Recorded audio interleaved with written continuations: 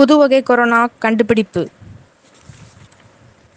South ஆஃப்ரிக்காவில் Chinese researchers அதாவது Wuhan மாகாணத்தை சேர்ந்த ரிசர்ச்சர்ஸ் வந்து புதுவகை கொரோனா வைரஸை வவ்வால்கள்லேருந்து கண்டுபிடிச்சிருக்காங்க. அது பேர் வந்து நியோகோ. இந்த வைரஸ் மனிதர்களை தாக்கும் வாய்ப்பு இருக்குன்னு ஊஹான் ரிசர்ச்சர்ஸ் சொல்கிறாங்க கொரோனா வைரஸ் வந்து ஒரு பெரிய ஃபேமிலி ஆஃப் வைரஸஸ் அது காமன் கோல்டில் இருந்து சிவியர் அக்யூட் ரெஸ்பிரேட்டரி சின்ரோம் அப்படின்னு சொல்லப்படுற சார்ஸ் வர வரைக்கும் காரணமாக இருந்திருக்கு. வேர்ல்டு ஹெல்த் ஆர்கனைசேஷன் என்ன சொல்லியிருக்காங்கன்னா செவன்ட்டி ஃபைவ் பர்சன்ட் மனிதர்களை தாக்குற வைரஸ் வந்து பார்த்திங்கன்னா வைல்டு அனிமல்ஸ்லேருந்து தான் பரவி இருக்குன்னு சொல்லியிருக்காங்க. இதை பற்றி நம்ம பயப்படுறதுக்கு காரணம் என்னன்னு பார்த்தீங்கன்னா ஈஸியாக இது மனிதர்களை தாக்கக்கூடியதான் கோவிட் மாதிரி.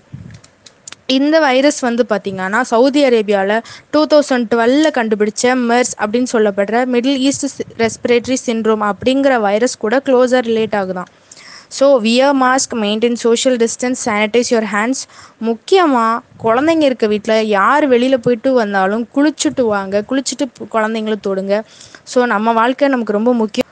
Be positive be safe thank you